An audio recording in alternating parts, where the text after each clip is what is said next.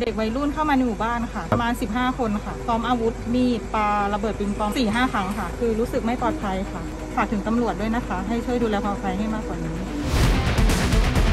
ขาโจบางบัวทองซ่าไม่เลิกยกพวกปาระเบิดใส่คู่อริทำรถชาวบ้านโดนลูกหลง กระจกหน้าแตกตีกันมาตั้งแต่สัปดาห์ก่อนแล้ว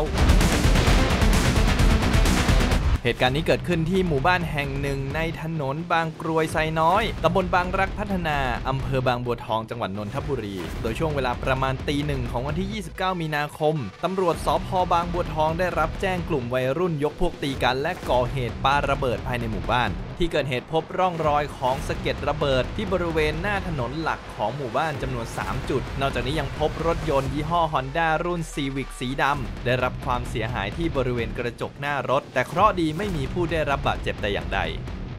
ภายหลังจากเกิดเหตุตำรวจได้ตรวจสอบภาพจากกล้องวงจรปิด ซึ่งสามารถบันทึกภาพเหตุการณ์เอาไว้ได้ ขณะที่กลุ่มวัยรุ่นชายประมาณ 15 คน บางคนสวมใส่หมวกกันน็อกแบบเต็มใบ และบางคนสวมใส่หมวกแก๊ปเดินเข้าไปในหมู่บ้านและคว้างปาระเบิดจำนวน 4-5 ครั้ง โดยหลังจากก่อเหตุกลุ่มวัยรุ่นจึงได้รีบวิ่งหนีออกไปทางหน้าหมู่บ้าน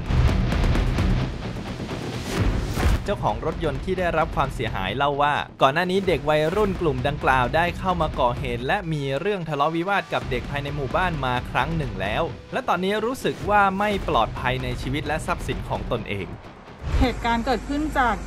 เด็กวัยรุ่นเข้ามาในหมู่บ้านค่ะ ประมาณ 15 คนค่ะ เขาเดินเข้ามาค่ะ พร้อมอาวุธมีดค่ะคือเด็กวัยรุ่นกลุ่มนี้เคยมีปัญหากับเด็กในหมู่บ้านนี้หรือเปล่าครับใช่ค่ะ หลังจากนั้นก็เกิดเหตุการณ์ปาระเบิดปิงปองมาตั้งแต่ข้างในค่ะ จนมาถึงที่รถ ปาประมาณ4ี่ห้าครั้งค่ะเสียหายตรงบริเวณกระจกหน้าแล้วก็กระจกด้านข้างค่ะ คือรู้สึกไม่ปลอดภัยค่ะ เพราะว่าก่อนหน้านี้ก็เจอเห็นเหตุการณ์จากในบางบัวทองมาแล้วค่ะ ที่ก่อเหตุแบบนี้หลายครั้ง อยากให้ชีวิตมีความปลอดภัยมากกว่านี้ สมมุติตอนกลางวันถ้าเกิดมีเด็กหรือมีมีคนที่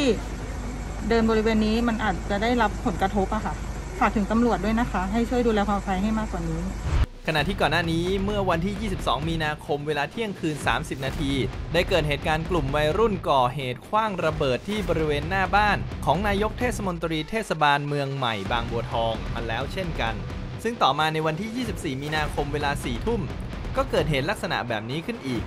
โดยกลุ่มวัยรุ่นได้ยกพวกปาระเบิดใส่ร้านขายนม ที่ซอยวัดลาดประดุกจนทำให้ทรัพย์สินเสียหาย และเกิดเหตุขึ้นอีกครั้งหนึ่งเมื่อช่วงค่ำคืนของวันที่ 29 มีนาคม นี่ถือเป็นการปาระเบิดก่อเหตุของกลุ่มวัยรุ่นเป็นครั้งที่ 3 ในเขตพื้นที่ของสอพบางบัวทองในช่วงสัปดาห์ที่ผ่านมาท่านสามารถติดตามทุกข่าวสารที่เกิดขึ้นรอบวันได้ผ่านทางเว็บไซต์ springnew.co.th